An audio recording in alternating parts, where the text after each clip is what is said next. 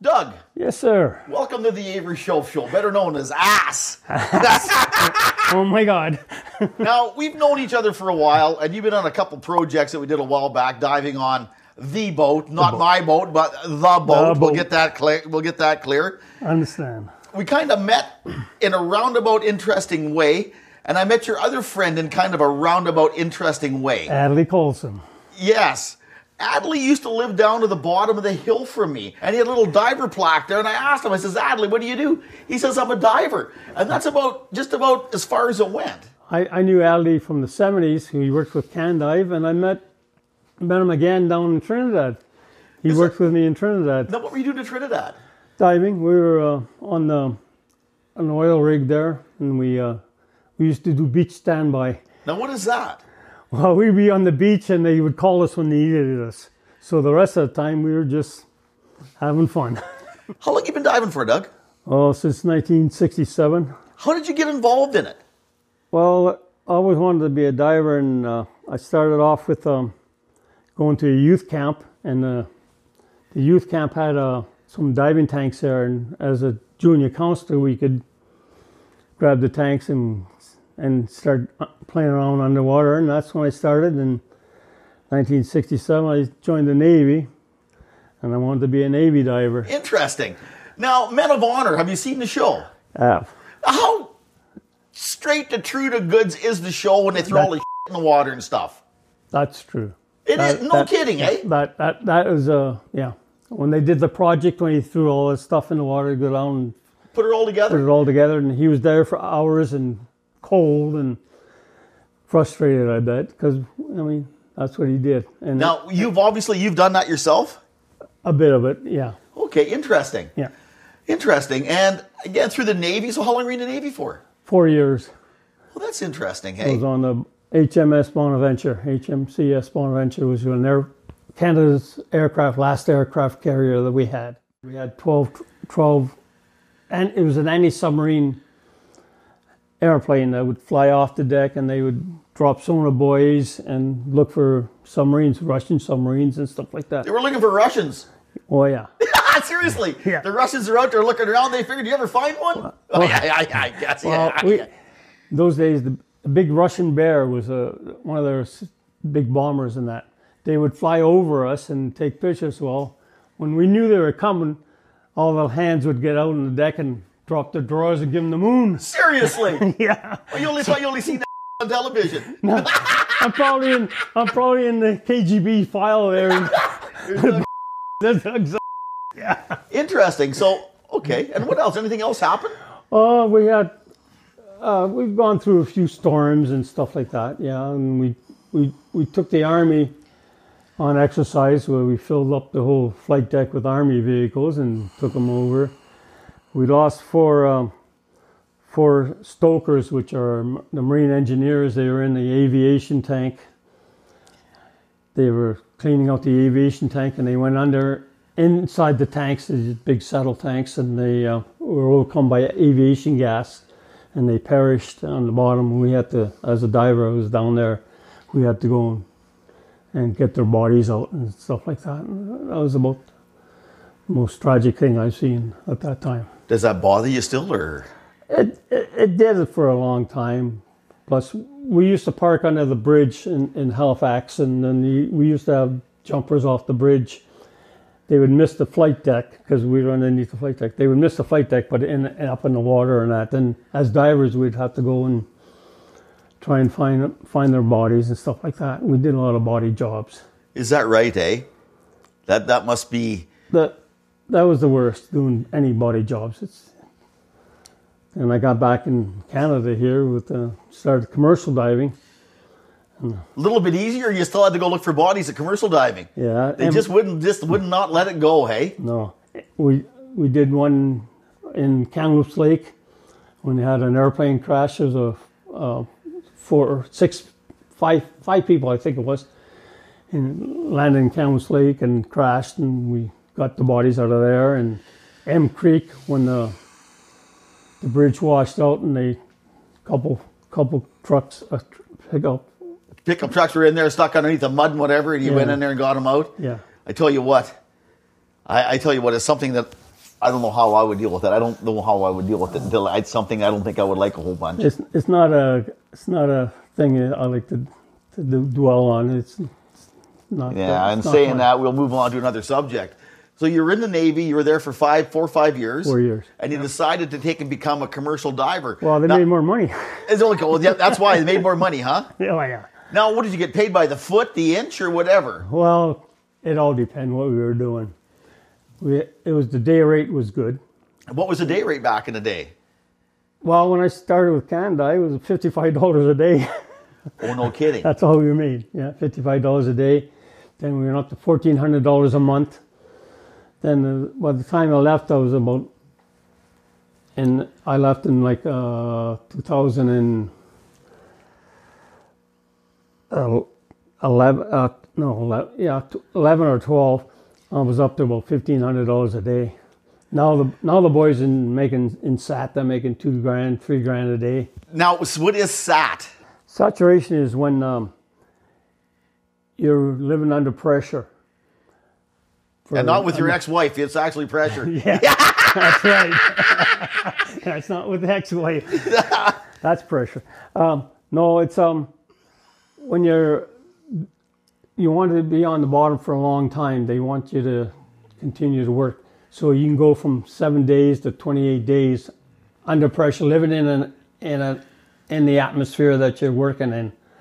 You're traveling back and forth with a diving bell up to the deck, transferring into a living quarters, which is under pressure. Your decompression chamber. decompression. Decompression chamber. Yeah. Now, do you go? Do you walk outside and then into, it, or do you just right from one capsule into another capsule with a Yeah, vacuum you, lock or you- something? You make you make up you made on.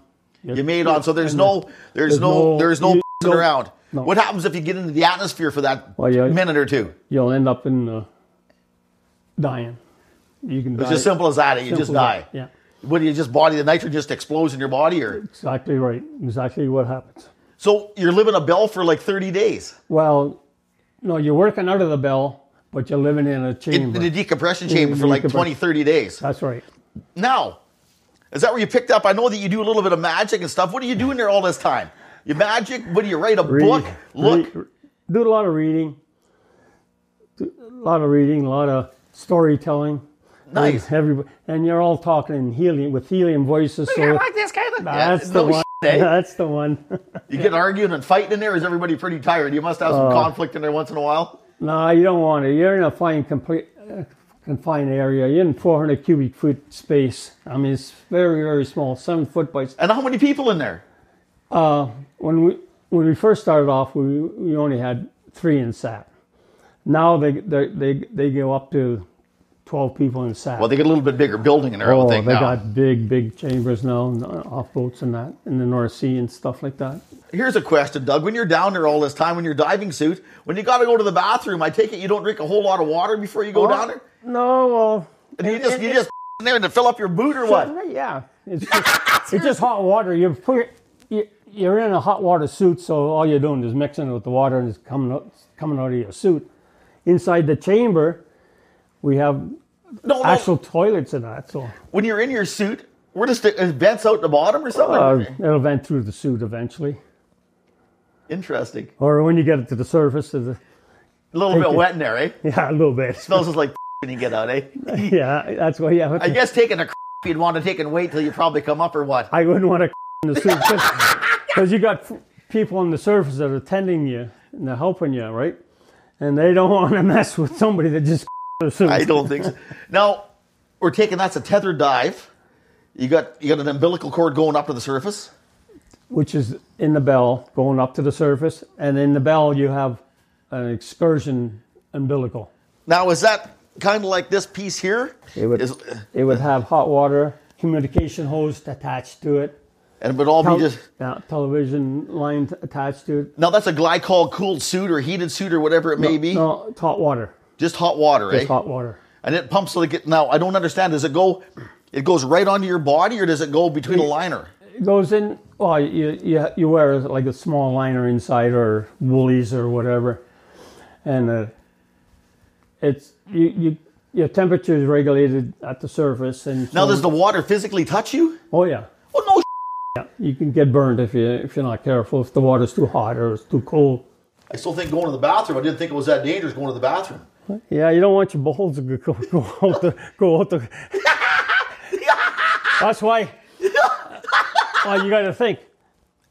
You know, the toilet bowl sometimes round, right? Yeah, Well, you don't want a round one. You want to at least have a split somewhere. it'll suck your nuts right out. No. Yeah, it's an old lot of shit. yeah. Uh, you, you hear stories about, oh, this happened somewhere in Is the that North right, eh? Sea or in Africa or something. But uh, the day I blew up that guy's, the it was on the Ned drill. It was a drill ship, Okay. and we plumbed it in. We plumbed it in, and I blew up the captain's, not the captain's, but the, the toilet down down there. I wasn't wasn't too I wasn't too You aren't too popular. popular. As we go back a little bit, how I ended up kind of getting to know, I get to know uh, uh, R- R- Reimer first, Yeah. and Pat, and I got to know him, and we were talking one day at the restaurant because the other divers used to come to Fort St. John and they would dive in the acid tailing pond Yeah. with their glycol cooled glycol cooled suits or whatever it may be in the tailing ponds. Yeah, they would they would use a, a dry suit, what they would classify as a dry suit, and then they stay warm by bulking up with woolies on. Okay, because I know that they had some kind of cooling in it too, going in them acid ponds. Yeah, some so, some of them, the water is so hot that they they would have to. We did a couple jobs in the Arctic where the water was so hot, it was coming out of the the bottom. It was so hot that we'd have to be cooled off with a. Now, why was the water coming close to volcanic crack or something, or what? Uh, I'm not really sure. It was uh, something to do with the, the drilling operations that they. Oh, you're the drilling rig when you were doing this. Yeah. Okay. Did, you did a lot of drilling stuff? Oh yeah. Uh, Like lots, eh? Yeah, quite a bit. I was on the East Coast. We did a 728 foot sat. I ran the first 728 foot sat out there on the on the East Coast of Canada. Ever to be done? Yeah, well, in Canada at the time was the one of the deepest dives we did. Interesting. Again, kind of moving back and forth a little bit. Going to the bathroom kind of always, I don't know why that always kind of intrigues everybody, but it's kind of a body function. If you're on space, you do it in a tube, in a vacuum and stuff. Now, in a decompression chamber, supposedly it's a bit different too. How do you go to the bathroom in a decompression chamber? Well, they have you have the same type of a toilet, but th- this time you need permission. You have to topside. Can I have a chamber flush, uh, toilet flush? So what happens? You go to the bathroom, and there's a valve. You have to have a guy on the outside and a guy on the, and then you're on the inside. So when the guy on the outside says, "I was ready," you're ready to flush. He, you open your valve. He opens his valve, and it's flushed out. If not, it would. Uh, Go the other direction. well, you don't want to go. you don't want to lose pressure. You got to make sure you close that, close your valve so the pressure inside is not going out, losing uh, in, in- internal pressure. It's going like that. Yeah, and you got to make sure your hose is somewhere cl- or where you're dumping it. It's going. yeah, yeah, I taking blew, a up two, I blew up two toilets once Yeah, seriously. How did on you do ship. that? Well, we- had it plumbed into the ship's uh, toilet system, and it took all the pressure from the chamber when I went in there. Lifted it right off the base. If there's a pressure differential where the pressure on the inside and, there's nothing on the outside, and you open the, you could It's the same as getting the bends off because Yeah. you get a So shot of the pressure differential, so you get a shot right away. That Yeah. you get the bends from taking a taking a cr- get the bends and die. That's why uh, you have a valve on the inside and there's one on the outside. So and it's controlled. It's interesting how we take for granted something so simple and it's yet so complicated and possibly can end your happiness. Oh yeah, yeah. You don't want that to happen.